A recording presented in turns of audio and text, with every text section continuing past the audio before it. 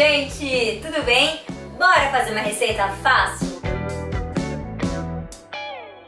Bom, no vídeo de hoje eu vou fazer pra vocês a receita de um pão caseiro muito fácil de fazer e muito, muito delicioso. Só que antes de eu passar a receitinha aí pra você, já se inscreve no canal, deixa seu like que ajuda muito. Gente, é sério, vem aqui, ajuda demais. Vocês não fazem ideia de como ajuda quando vocês vão lá e colocam tipo like, quando vocês gostam do vídeo e compartilha.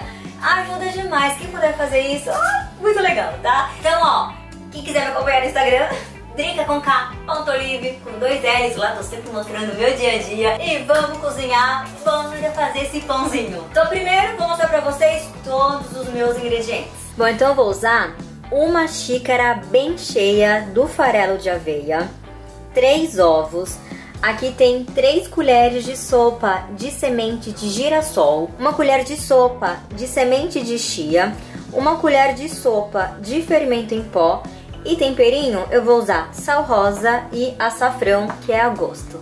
Vou colocar aqui agora o farelo de aveia, a semente de chia, semente de girassol. Drica, não gosto de semente de, de girassol, não tenho semente de girassol. Pode trocar por qualquer outra semente. Quem quiser trocar por semente de abóbora, por semente de gergelim. Quem não quiser colocar, também não coloca, mas a, a semente de girassol, né, essas sementes assim, dá um, um croque gostoso, dá uma, um toque especial no pão. Mas se não tiver, não quer comprar, faz sempre que o pão também vai ficar gostoso. Bom, vou colocar o salzinho rosa e o açafrão. Essa quantidade do sal e do açafrão é bem a gosto mesmo.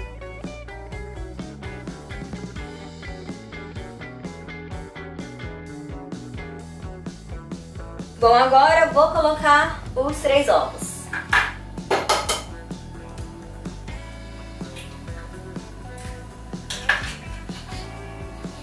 Eu sempre cheiro o ovo antes. Esse tá estragado.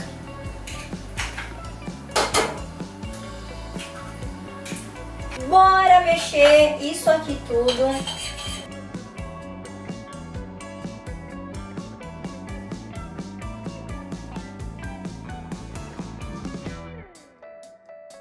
Eu não sei por que, que eu pego essa tigela. Pra misturar coisas, essa tigela é um horror. Eu tenho uma laranjinha que é eu, que eu amo misturar na laranjinha. Mas tão feio, que dá de usar.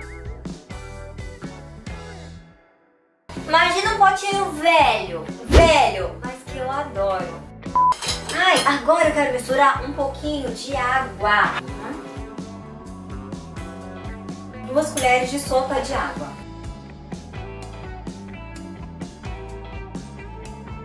Gente, esse, esse pãozinho, ele fica tão gostoso, ó, perfeito para café da manhã, para lanches. Bom, agora eu vou colocar na forma. Essa minha forma aqui, ela é antiaderente, mas ultimamente as minhas formas antiaderentes têm pregado peça. E para não passar vergonha aqui com vocês, eu vou jogar um pouquinho de manteiga. Ó que legal, manteiga em spray, gente. Essa daqui eu trouxe dos Estados Unidos, mas ó, vende aqui, tá? Tem loja de produtos naturais, acho que supermercado também tem, mas acho que aqui no Brasil é um pouco caro, não sei preço, eu paguei pra Paraty e falei, ah, eu vou trazer. A mandeira, né? Mas como pode, né? Como pode as coisas de fora ser tão barato, né? Aí chega aqui, é um absurdo, assim, de caro. Eu fico... Mas enfim. Vamos colocar aqui agora na forma? Vamos! Ai, gente! Abafo, quase que eu esqueço do fermento. E o fermento realmente, ele é por último mesmo, tá? Então mexeu tudo, tá tudo mexidinho. Aí depois pega... Ai, com vontade de acrescentar mais uma colherzinha de água. Duas colheres de sopa de água. Ai, agora sim, agora eu tô feliz.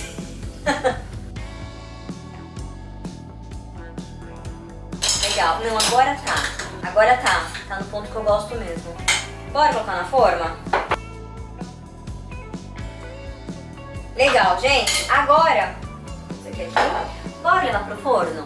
Forno pré-aquecido, vou deixar ele a 200 graus por uns 25 minutinhos, tá? Mas o negócio, gente, é ficar de olho, né? Tá douradinho, aí tá na hora de tirar. De repente, 20 minutos não tá legal, tá aquela cara branca, estranha, deixa mais, tá? Deixa essa média assim, mas o negócio é olhar pra ver se já tira ou deixa. O negócio é ficar aqui douradinho.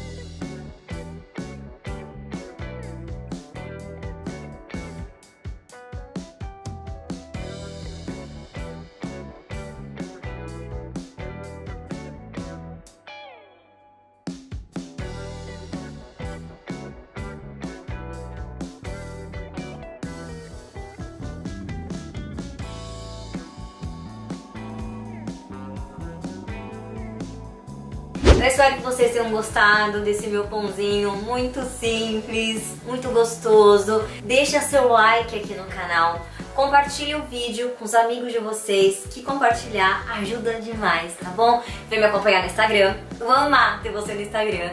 Drica com K, ponto Olive, com dois L's. Gente, beijo imenso pra vocês. Curtam, compartilham, se inscrevam. Fui!